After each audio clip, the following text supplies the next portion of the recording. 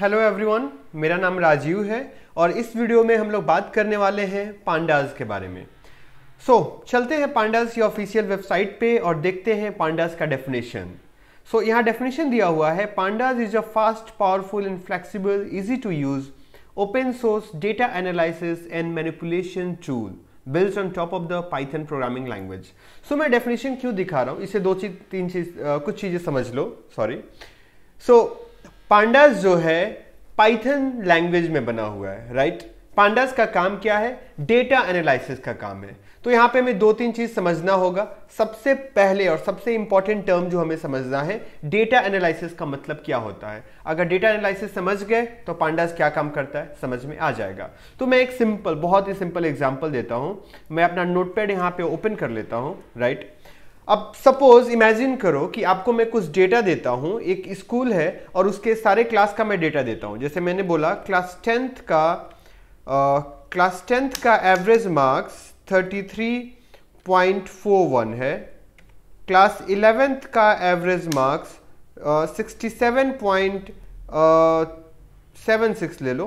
Class twelfth का average marks fifty six point eight nine है। इसी तरीके से मैंने सपोज़ नाइन, टेंथ, एट सारे क्लास के एवरेज मार्क्स दिए हुए हैं राइट और ये डेटा है। एक तरीके से क्या हो गया? डेटा हो गया। और मैंने आपसे पूछा ओके अब बताओ इस, ये स्कूल को आप किस कैटेगरी में रखोगे? ए कैटेगरी मतलब बहुत अच्छा स्कूल है, इसके स्टूडेंट बहुत अच्छा परफॉर्म करते हैं। बी कैटेगरी यानी एवरेज स्कूल है।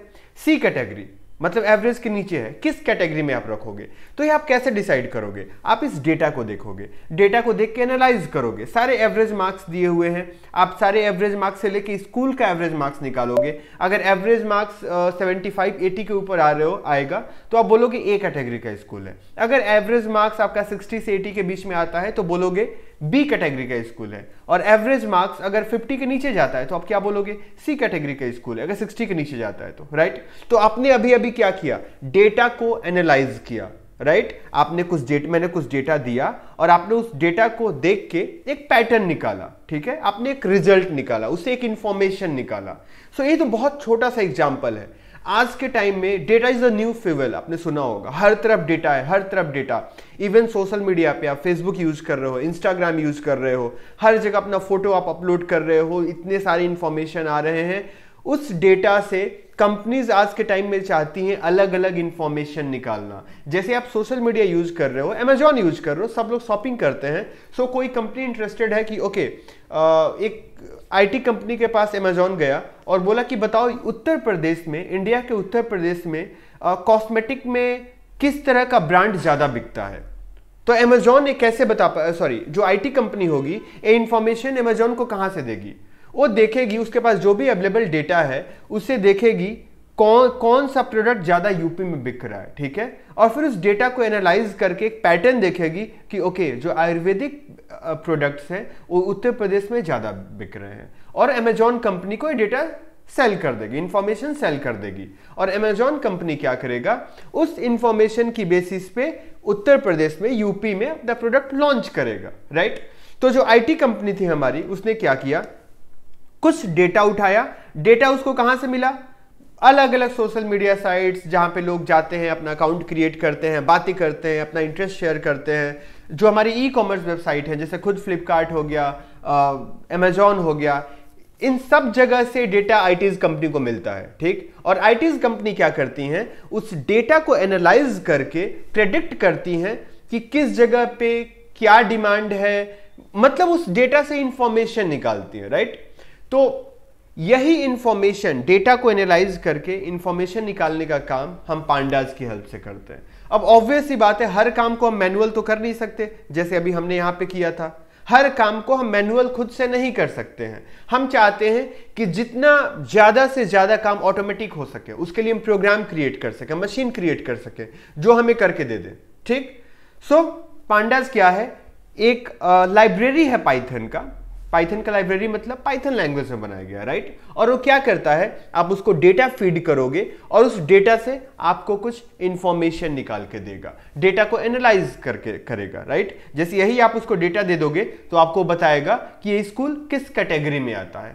तो आई होप क्लियर हो गया होगा कि पांडाज क्या है राइट अब हम क्या करने वाले हैं? आगे हम पांडाज में क्या पढ़ने वाले हैं? हम पांड ये देखने वाले हैं कि किसी भी एक जगह डेटा हमारा रखा हुआ है। अब जो हमारा डेटा होगा, वो दो फॉर्मेट में होगा। या तो सीएसवी फॉर्मेट में होगा, या फिर एक्सेल फॉर्मेट में होगा। इस और भी सारे फॉर्मेट होते हैं बट मेन हम सीएसवी और एक्सेल पे फॉर्मेट करने फोकस करने वाले हैं। तो सबसे पहले हम सी देखते हैं। तो सी फ़ाइल क्या होता है? सीएसवी का फुल फॉर्म होगा कॉमा सेपरेटेड वैल्यू राइट मतलब ऐसी वैल्यूज़ जो कॉमा से सेपरेटेड हो, जैसे सपोज़ मैंने यहाँ पे ले लेता हूँ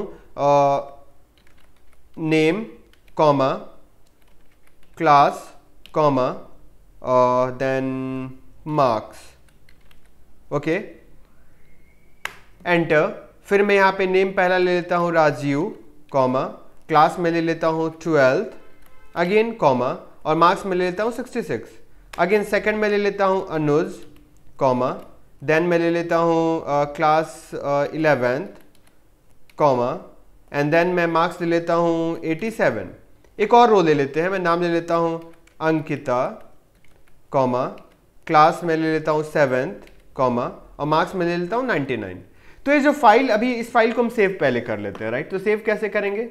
यहाँ क्लिक करते हैं सेव और इसको मैं डेस्कटॉप पे एक फोल्डर बना लेता हूँ फोल्डर का नाम मैं दे देता हूँ पांडाज डेमो। पांडाज डेमो नाम दे देता हूँ और इस फोल्डर में मैं इस फ़ाइल को सेव करूँगा। अब जब मैं इस फ़ाइल को सेव करूँगा ना, मैं इसका फ़ाइल का नाम देता हूँ डेटा तो इसके लास्ट में मैं लगाऊँ डॉट सी एस वी। जो सी फ़ाइल होता है, उसके लास्ट में डॉट सी लगा रहता है राइट जो एक्सेल फ़ाइल होता है, उसके लास्ट में लास्ट में डॉट एक्सेल लगा रहता है। जो टेक्स्ट फ़ाइल होता है, उसके लास्ट में डॉट टी लगा होता है। जो माइक्रोसॉफ्ट ऑफ़िस वर्ड में आप कोई फ़ाइल बनाओगे तो उसके लास्ट में डॉट डॉक्स करके लगा होता है। तो ये सी फ़ाइल है तो नाम के बाद हम डॉट सी लगाएँगे सेव कर लेते हैं। अब इसको मैं मिनिमाइज कर देता हूँ। मैं इसको यहाँ पे मिनिमाइज कर देता हूँ। और आते हैं यहाँ पे, हमारा ये पांडास डेमो फोल्डर है। ओपन करते हैं, और ये देखो डेटा डॉट सी अगर इसके प्रॉपर्टीज़ में जाओगे तो इसका टाइप देखो सीएसवी डॉक्यूमेंट यहाँ पे शो कर रहा है राइट ये सीएसवी फ़ाइल होगी। तो जो भी आपको डेटा मिलेगा ना सपोज़ आप किसी कंपनी में गए डेटा एनालिस्ट का काम कर रहे हो तो जो आपको डेटा मिलेगा इसी फॉर्मेट में मिलेगा सीएसवी फ़ाइल में। इसी तरीके से बहुत सारे डेटा होंगे आपके पास सीएसवी फ़ाइल में एक्सेल फ़ाइल में। अब आपको करना क्या है? पाइथन की हेल्प से पांडाज की हेल्प से इस डेटा को एनालाइज करना है राइट तो आते हैं उस पर अभी हम। मैं इसको क्लोज कर देता हूँ। मैं इस फ़ाइल को यहाँ से क्लोज कर देता हूँ और इसे भी मैं अभी क्लोज कर देता हूँ राइट अब मैं टर्मिनल अपना ओपन करता हूँ ठीक है? और टर्मिनल से चलो टर्मिनल से नहीं मैं सीधे अपना ओके टर्मिनल से ही करता हूँ ठीक है? सो so, यहाँ पे मैं पांडा ये जो हमारा फोल्डर है pandas demo C D C for change D for directory then pandas demo पहले हम डेस्कटॉप पे जाएँगे। डेस्कटॉप अब डेस्कटॉप पे हमें किस फोल्डर में हमारा सी फ़ाइल है? पांडास डेमो में। तो हम लिखेंगे सी डी पांडास डेमो अब इस फोल्डर में हम क्या ओपन करेंगे? जुपिटर नोटबुक अगर नहीं पता जुपिटर नोटबुक कैसे ओपन करना है तो मैं वीडियो का लिंक डिस्क्रिप्शन में दे दे रहा हूँ। मैंने इसमें अच्छे तरीके से बताया है कि जुपिटर नोटबुक को कैसे इंस्टॉल करना है अबंटू में भी और विंडो में भी। और अगर उस वीडियो से आपको समझ में नहीं आता तो नॉर्मली यूट्यूब पर बहुत सारे वीडियोज़ हैं, आप सर्च कर सकते हो। इसके अलावा एक और वीडियोज़ में मैंने बताया है कि जुपिटर नोटबुक को हम यूज़ कैसे करते हैं राइट तो उसका लिंक भी मैं डिस्क्रिप्शन पे दे दे रहा हूँ, उसको भी जाके देख सकते हो। तो अब जुपिटर नोटबुक को कैसे यूज़ करोगे? ओपन कैसे करोगे? जुपिटर नोटबुक राइट और मैं जुपिटर नोटबुक को कहाँ ओपन कर रहा हूँ? पांडाज डेमो फोल्डर में याद रखना। सो so, एक कुछ सेकंड के लिए का टाइम लेगा ओपन होने में और ये हमारा ओपन हो गया। ये देखो लोकल होस्ट ब्राउज़र में ज़रूर ओपन होता है जुपिटर नोटबुक बट ये हमारा क्या होता है? लोकल सिस्टम पे रहता है। इसका इंटरनेट से कोई लेना देना नहीं है। ठीक? और ये देखो, मैंने इस जुपिटर नोटबुक को कहाँ ओपन किया है? पांडाज डेमो फोल्डर में ओपन किया है। तो इसीलिए पांडाज डेमो फोल्डर में जो हमारी सिर्फ़ एक फ़ाइल है, जिसको मैंने अभी भी बनाया डेटा डॉट सी एस यहाँ पर शो कर रहा है। अब आपको क्या करना है? यहाँ पे न्यू पे क्लिक करो और यहाँ पे पाइथन थ्री पे क्लिक करो। एडिटर ओपन हो जाएगा, जुपिटर नोटबुक का। ये हमारा एडिटर ओपन हो रहा है, कुछ सेकंड इसमें लगेगा। हमारा एडिटर ओपन हो गया। अब इस एडिटर का फ़ाइल का चाहो तो नाम चेंज कर सकते हो। नाम अभी अनटाइटल्ड है। मैं इसको चेंज कर देता हूँ। मैं इसका नाम देता हूँ पांडाज डेमो। और ये मैंने रीनेम कर दिया। Right right? ये देखो पांडाज डेमो आ गया। सो so, अब हम पांडास का यूज़ कैसे करेंगे? तो पांडास क्या है? एक लाइब्रेरी है जो ऑलरेडी बना के पाइथन में रखा हुआ है। तो अगर आपको उसको यूज़ करना है तो सबसे पहले पांडास लाइब्रेरी को इंपोर्ट करना होगा। इंपोर्ट कैसे करोगे? So import pandas as PD PD की जगह आप कोई भी नाम ले सकते हो. ए बी सी ए कुछ भी ले सकते हो. बट कन्वेंशन ये है कि पांडास को हम जब भी इंपोर्ट करते हैं तो पीडी नाम से इंपोर्ट करते हैं राइट right? अब इस सेल को मैं रन कर देता हूँ. अगर नहीं पता जुपिटर नोटबुक को कैसे यूज़ करते हैं तो प्लीज़ मैंने डिस्क्रिप्शन में वीडियो दिया है, जिसमें मैंने जुपिटर नोटबुक के बेसिक बताए हैं, उसको देख सकते हो राइट सो so, मैंने पांडास को इंपोर्ट कर लिया। अब हम मुझे क्या करना है? जो हमारा डेटा है सी फ़ाइल में उसको रीड करना है। Okay okay? अभी तो डेटा फ़ाइल में है ना? उसको हम पहले रीड करेंगे। कैसे रीड करेंगे? तो उस डेटा को हमें डेटा फ्रेम में कन्वर्ट करना होगा। डेटा फ्रेम में कैसे कन्वर्ट करेंगे? और डेटा फ्रेम होता क्या है? आगे इस सब पे मैं बहुत डिटेल में बात करने वाला हूँ। अभी शॉर्ट में समझो। हमारे पांडाज में एक मेथड है जिसका नाम है read C S V C S V ये पांडाज का एक फ़ंक्शन है. ये फ़ंक्शन करता क्या है? सी एस वी फ़ाइल को रीड करता है राइट और ये कहाँ पे है? पांडाज में. पांडाज को मैंने किस नाम से इंपोर्ट किया है? पीडी नाम से. तो मैं लिखूँगा PD dot read C S V ठीक है? और इसमें मैं क्या पास करूँगा? जिस फ़ाइल में डेटा है उसका नाम. तो फ़ाइल का नाम क्या है हमारा? Data dot C S V अब रीड सी एस वी क्या करेगा? डेटा डॉट सी में जो भी डेटा है, उसको रीड करेगा, ठीक है?